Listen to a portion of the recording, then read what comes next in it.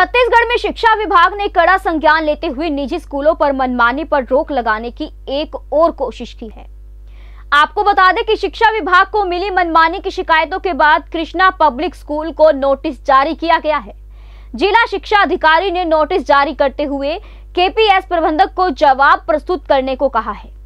Notice में शिक्षा विभाग ने केपीएस प्रबंधक से कहा है कि आपने पालकों को एक ही दुकान से किताब लेने के लिए बाध्य किया है।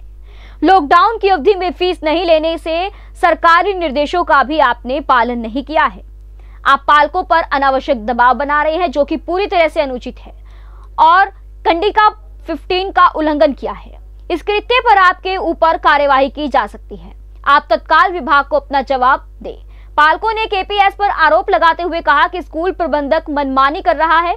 प्रबंधक की और अनावश्यक दबाव बनाया जा रहा है।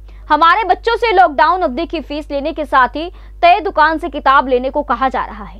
एक किताब अठारह सौ रुपए में बेची जा रही है। वहीं अभिभावकों की इस शिकायत पर हमने जिला शिक्षा अधिकारी रायपुर से बात की। उन्होंने मामले को गंभीरता से लेते हुए कृष्णा स्कूल प्रबंधक को तत्काल नोटिस जारी कर जवाब मांगा है। शिक्षा अधिकारी ने कहा कि उचित जवाब नहीं मिलने पर कार्यवाही की जाएगी। छत्तीसगढ़ से स्टेट हेड प्रणय अग्रवाल की रिपोर्ट। ऐसे ही लेटेस्ट खबरें पाने के लिए बेल आइकन को क्लिक कर हमारे चैनल को लाइक, शेयर एंड सब्सक्राइब करें। धन्यवाद।